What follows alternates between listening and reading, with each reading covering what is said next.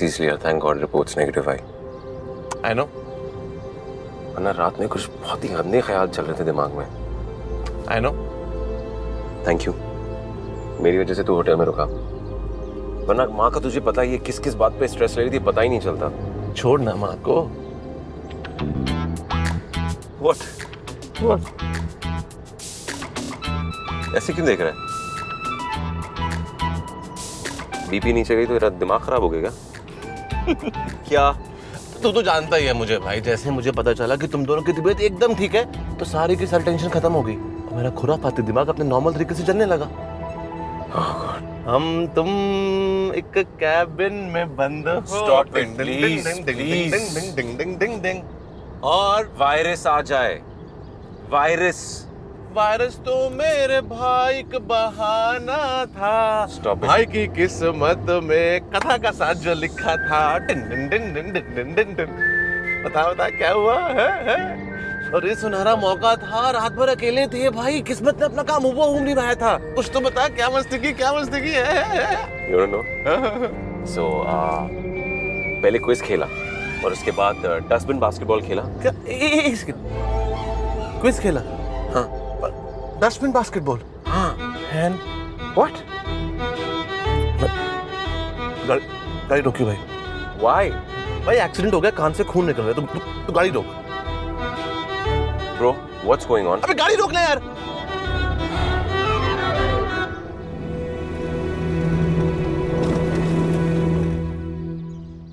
क्या है ये?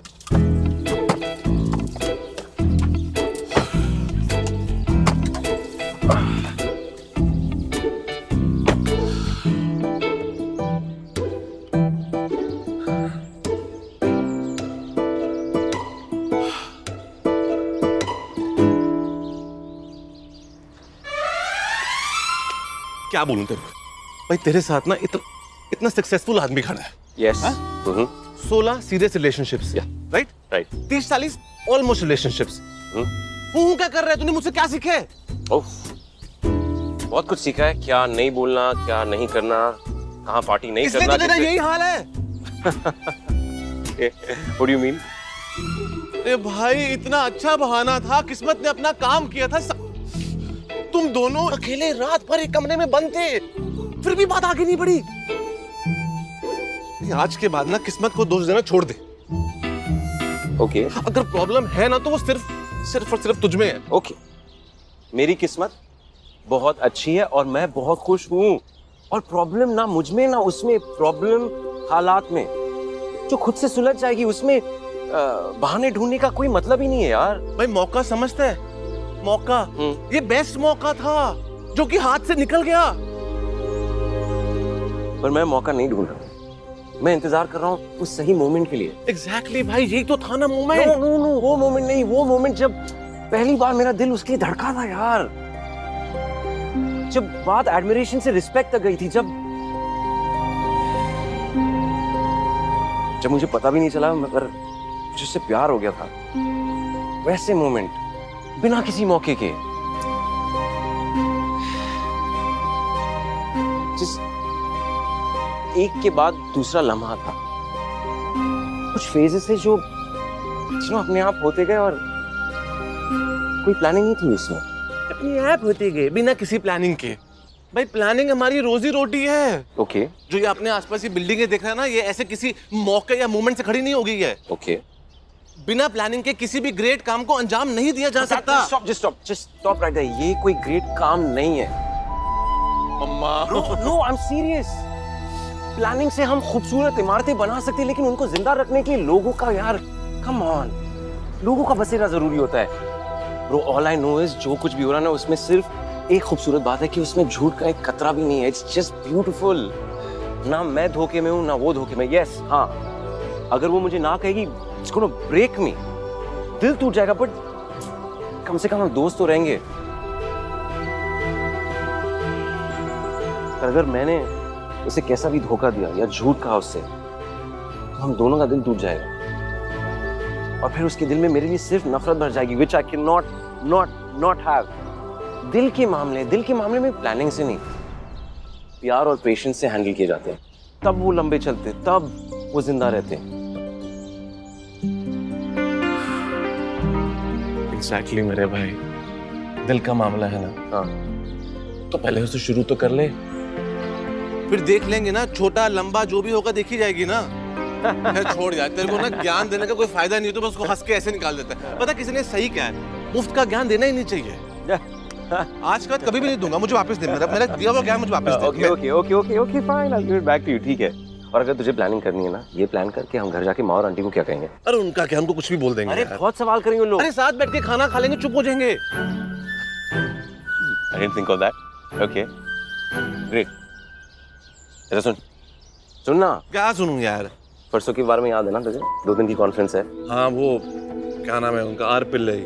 हाँ। उनका फेलिसिटेशन भी तो है। राइट ग्रेट मैन सो वहाँ पे आई गेस हम दोनों को वहाँ पे अर्थकॉन के पैनल से टॉक भी देना है। या या तो यू नो मेरा दोस्त मेरे साथ आ रहा है ना? I have to can't help it मैं उन्हें बता दूँगा और वो हमारे रूम्स बुक कर लेंगे। दो दिन का नाइट से भी होगा। तो पार्टी भी होगी। नाइस अच्छा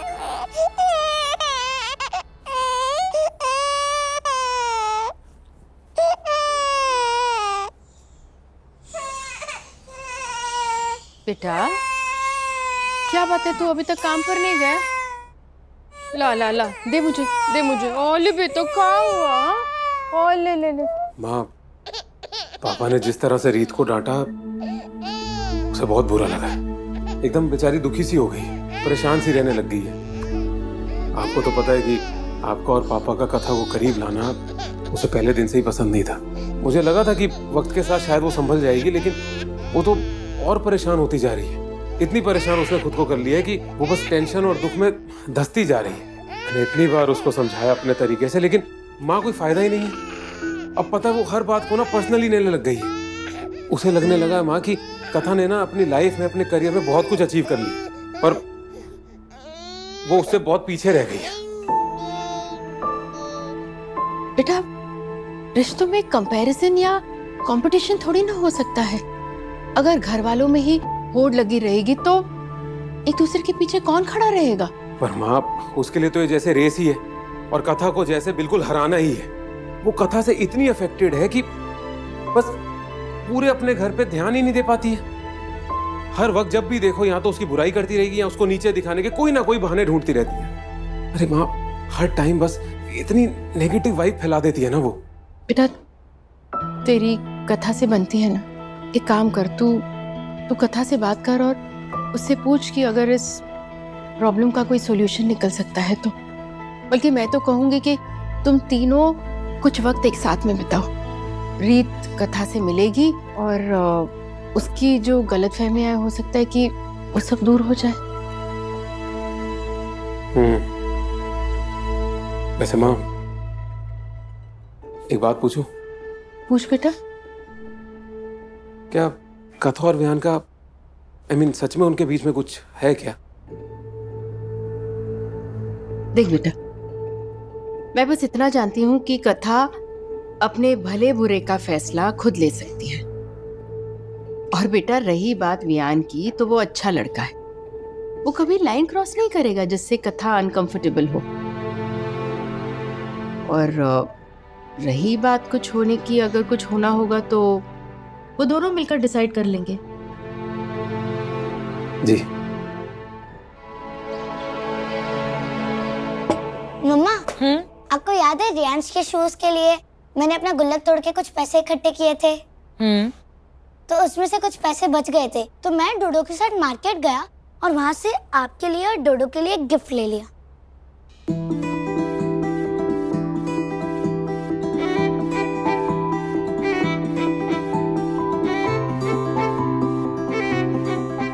मंकी बहुत सुंदर है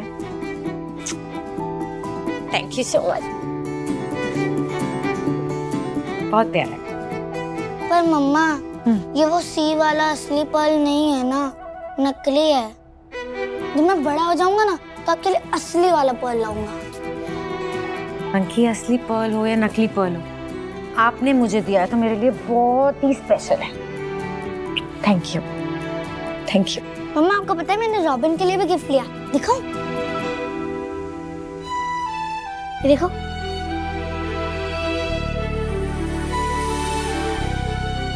क्यूट है ना? हेलो मम्मा। क्यूट है ना? बहुत क्यूट है।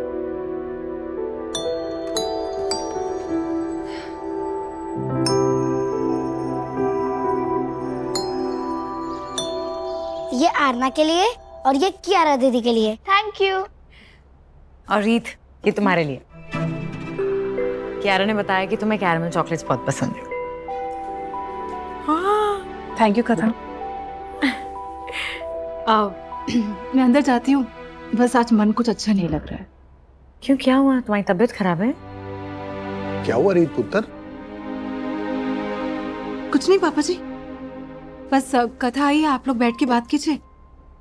मैं अंदर जाती हूँ।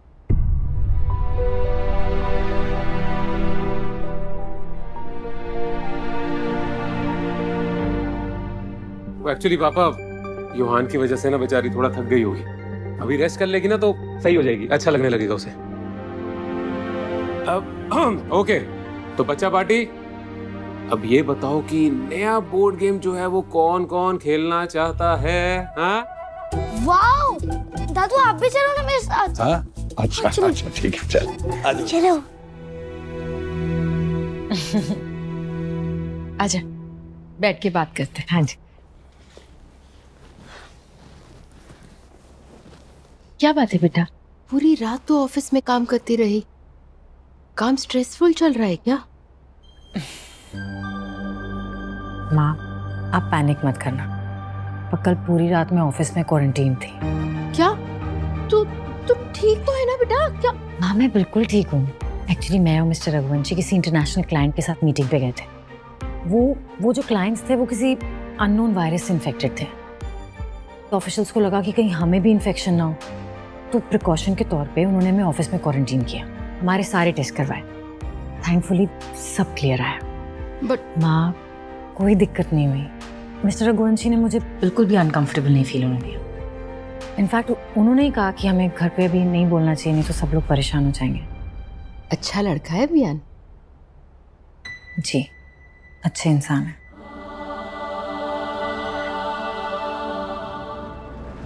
देख बेटा ज़िंदगी ना बहते पानी की तरह होती है। एक निरंतर धारा जो कभी नहीं रुकती ये तो प्रकृति का उसूल है ना? फिर तू क्यों रुकी है?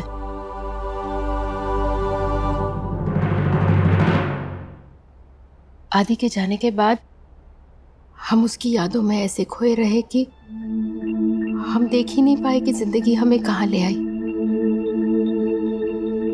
लेकिन जब अतीत से निकले तो हमें समझ में आया कि हम क्या मिस कर रहे थे।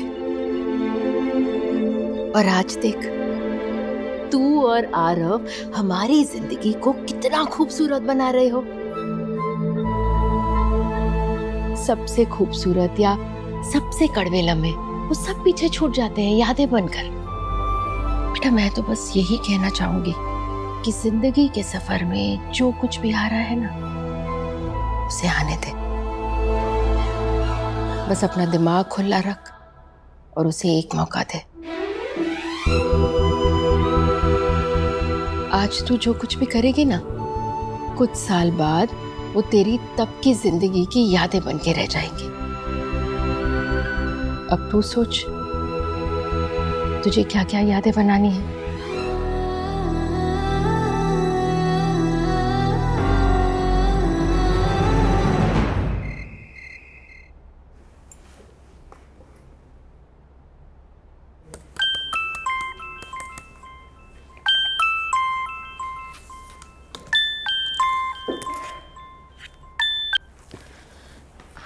हेलो हाय कथा आ, मुझे आपके साथ कुछ डिस्कस करना था?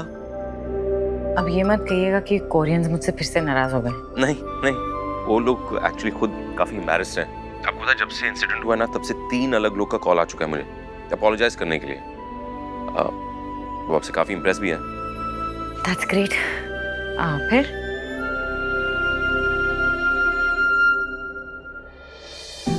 Um, लोनावला प्रोजेक्ट के बारे में कुछ बात करनी थी?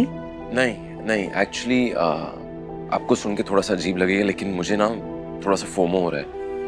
आप उस दिन आरफ के साथ इतने सारे प्लान्स बना रही थी मुझे सिर्फ़ ये जानना है कि फाइनली हुआ क्या।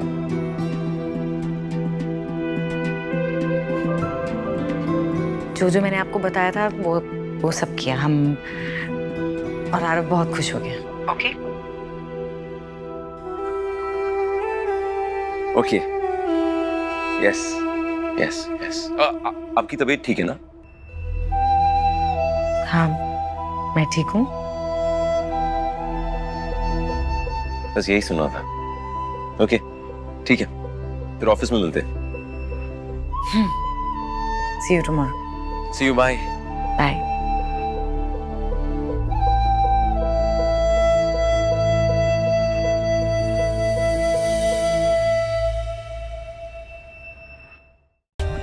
For more updates, subscribe to our channel, click the show links and enjoy watching the videos.